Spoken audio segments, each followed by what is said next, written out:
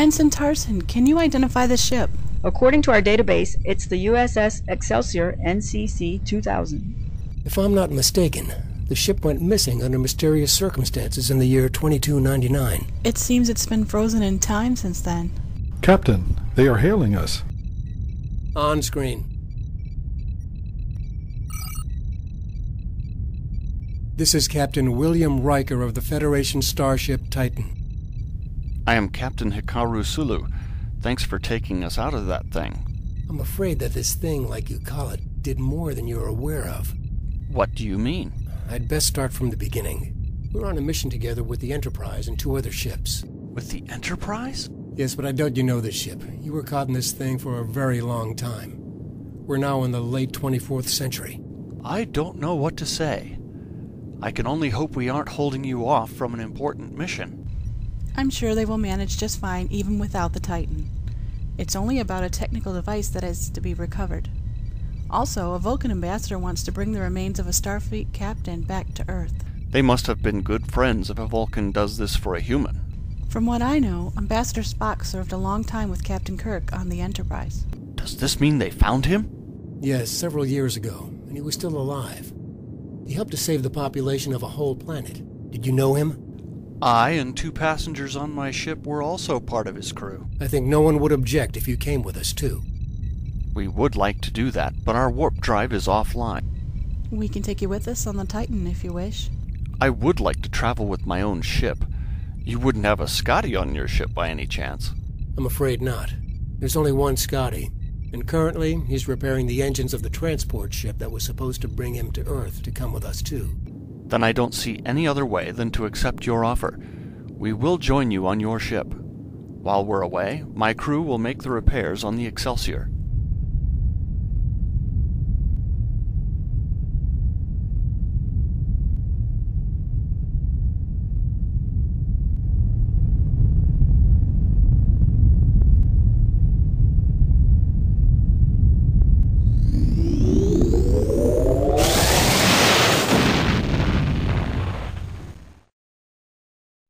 Open a channel to the Enterprise. Aye, sir.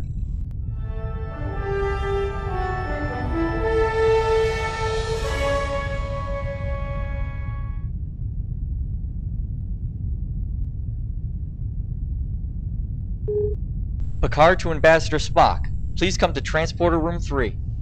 I am on my way.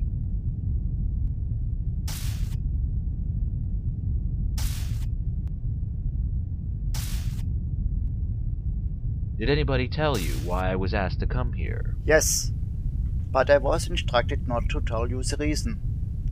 Also, I am to leave the room immediately after the transport. Then beam the visitors on board as soon as you have the coordinates.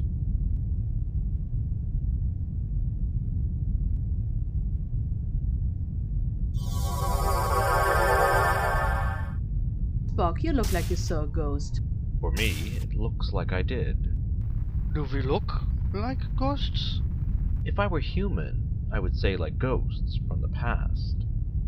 You are asking yourself how we came to this time and place. We were frozen in time with the Excelsior. On the way to here, we already explained everything to the captain of the Titan. Looks like the surprise was successful. Welcome aboard the Enterprise E. There's one thing I don't quite understand. Why were there so many crew members of the old Enterprise on the Excelsior? That's easy to explain. Sulu was assigned to make a first contact in the courier system. The mission came faster than expected. There was no other communications officer available, so they asked me. It was only a coincidence that I was on that ship. I was with a shuttle on my way to my vacation place on Risa. On the way there, there was a heavy turbulence on a sun. I got hit by radiation, and the Excelsior was the ship that responded first to my distress call. Unfortunately, the inhabitants of the planet we were trying to make contact with were not interested in any contact with us. They wanted to stay isolated. That was probably the reason why they froze us in time. I'm sure Starfleet scientists will be highly interested in learning more facts when we get back.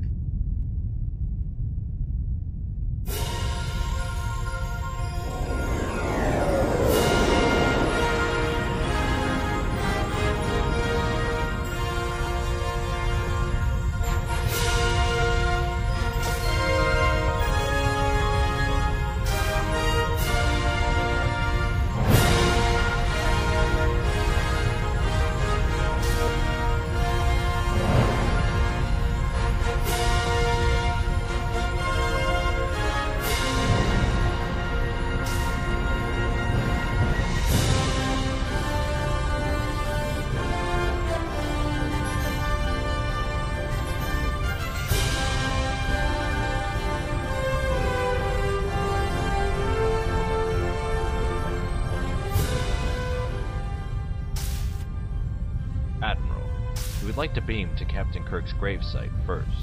Is there a special reason why you want to start there? We don't know how much time it will take to fulfill your official mission, or whether there will be time for this afterwards.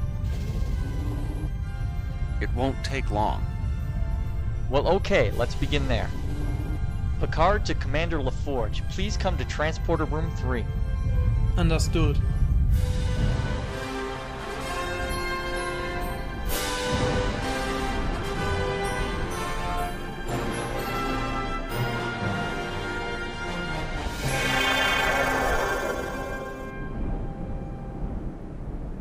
Seems that we are too late.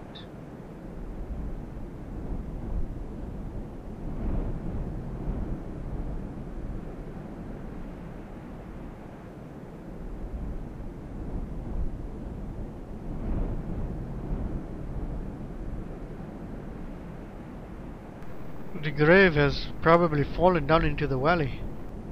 The tricorder shows that there was a surf earthquake about two months ago. It must have shaken nearly the whole planet. I don't want to sound insensitive, but since we can't do anything here, perhaps we should move on to our next task. That would be the next logical step. Picard to Enterprise, beam us up. Understood, sir.